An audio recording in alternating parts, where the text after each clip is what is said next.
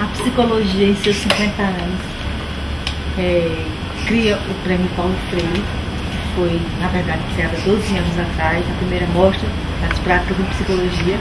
Estamos agora revivendo a segunda mostra de práticas. E aí, nos nossos 50 anos, nós vamos homenagear as pessoas que trabalham pelo bem comum neste país e no mundo. Uma delas não podia deixar de ser a Ariane Suassuna, grande nordestino, grande escritor, romancista brasileiro e que retrata como ninguém a nossa alma, a alma nordestina, a alma brasileira. Assim, nós gostaríamos de agradecer pela sua contribuição, pela sua produção, pelo Alto da Compadecida, que muito nos orgulha, pela Pedra do Reino, que muito nos emociona, e dizer que a psicologia brasileira sente-se honrada em prestar essa homenagem, muito mais do que merecida. Muito obrigada pela sua existência e pela sua arte. Eu que agradeço a você, minha filha, e, e transmita aos seus companheiros lá da psicologia a, a alegria que eu sinto em receber esse prêmio. Me senti agraciado com ele, no seu sentido, no seu sentido exato, no sentido exato da palavra.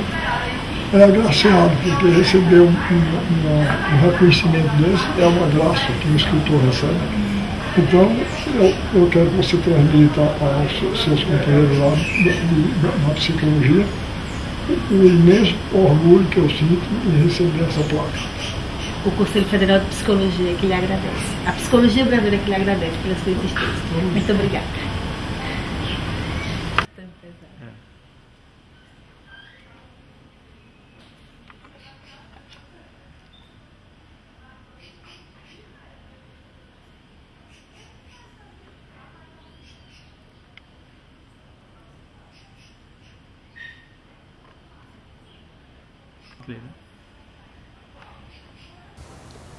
É uma alegria muito grande para mim receber um prêmio dado pelo Conselho de Psicologia e com o nome de Paulo Freire. Paulo Freire foi meu amigo fraterno.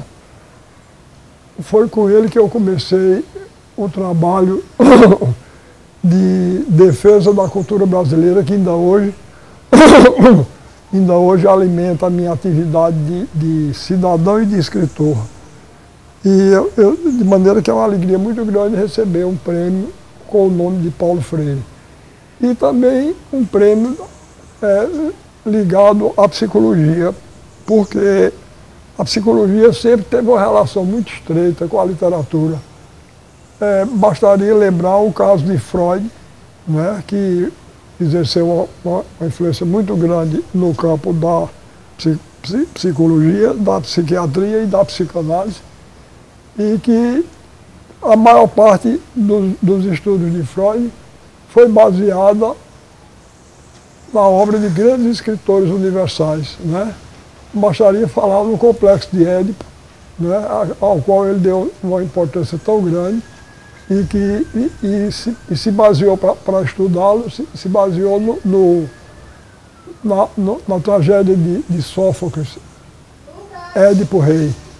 É? De maneira que, que foi uma, uma, é, é, uma ligação muito grande que se estabeleceu entre a psicologia e, e a literatura, desde o começo, porque a, a psicologia e a literatura começaram a, a ser exercitadas em tempo muito remoto, não é? entre, entre os, os gregos.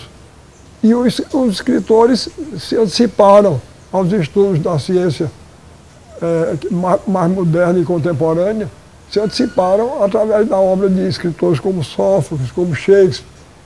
Né? Você nota, por exemplo, numa peça como Hamlet, você nota o, o, o, o complexo de Édipo que, que o personagem Hamlet tinha. Né? Um dos motivos principais que levaram o Hamlet a odiar o tio, além do assassinato do pai, e o parricídio exerceu também uma influência muito grande nos estudos de Freud. Além do parricídio, o ciúme que ele tinha da mãe, que é um, um sentimento edipiano.